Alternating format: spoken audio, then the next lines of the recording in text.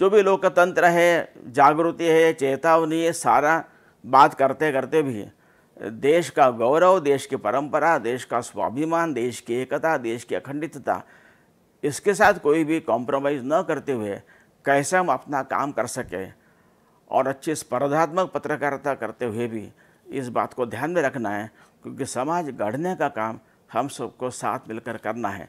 तभी संकट काल में ऐसा समाज पूर्ण सक्रिय होकर अब तक इस देश पर अनेक प्रकार के संकट आए हैं। उन सारे संकटों में राजाओं के साथ साथ इस समाज का भी संघर्ष, समाज का योगदान, यह बहुत महत्व का रहा है। ऐसे समाज को गढ़ने का कार्य सतत हर स्तर पर अनेक लोग कर रहे हैं। शिक्षक कर रहे लोग कर रहे घर में गृहिणियाँ कर रही है। तो पत्रकार भी समाज का अंग है।